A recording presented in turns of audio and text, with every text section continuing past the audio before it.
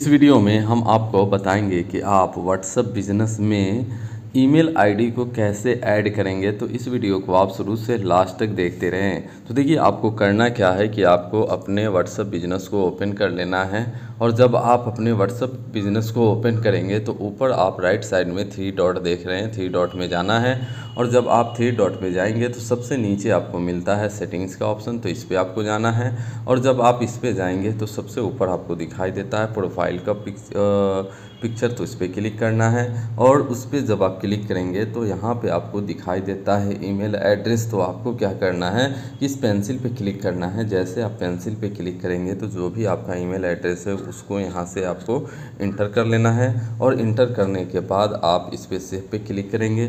Save पे जैसे click करेंगे तो ये थोड़ा सा लोडिंग लेगा और लोडिंग लेने के बाद आपका जो व्हाट्सअप बिज़नेस में ईमेल आईडी ऐड हो जाएगा। तो यही इसका प्रोसेस है। तो अगर यहाँ पर वीडियो आपको अच्छा लगे तो वीडियो को लाइक कर दीजिएगा और चैनल को सब्सक्राइब कर दीजिएगा।